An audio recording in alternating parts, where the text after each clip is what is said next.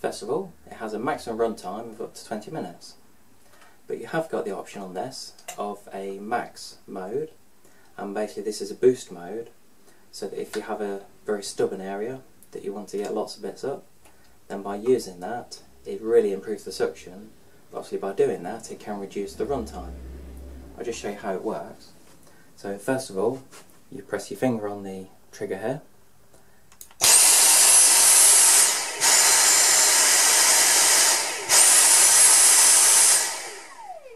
hopefully you could hear the difference, obviously it was already on, so that the suction would be fantastic. Now with this model it comes with a couple of different tools. The first one is the combination tool and what this does is first of all you've got the nozzle at the end. This is very good if you're using it for a table for example to get crumbs up and you can also turn it into a brush by pressing that button and then that pushes down. So that's very useful as well. The second tool it comes with is the crevice tool and as it says if you want to get into corners then that's very useful or if you want to do cobwebs, things like that in your house. When it comes to the maintenance of this cleaner it's very easy.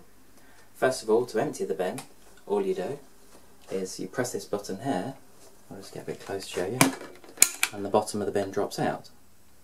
What you can also do to actually wash this bin you press the bin switch down again and that will drop off like that.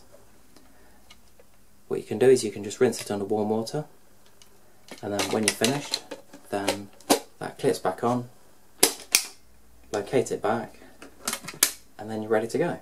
On this model you've got one filter which is located on the top here. All you do is pull it out, rinse it under warm water when you want to wash it, let it dry and then just pop it back in and you're ready to go. If you are interested in this cleaner or you'd like to order one, either visit our website, go cordless.co.uk or give us a ring today on 0116 4300 123.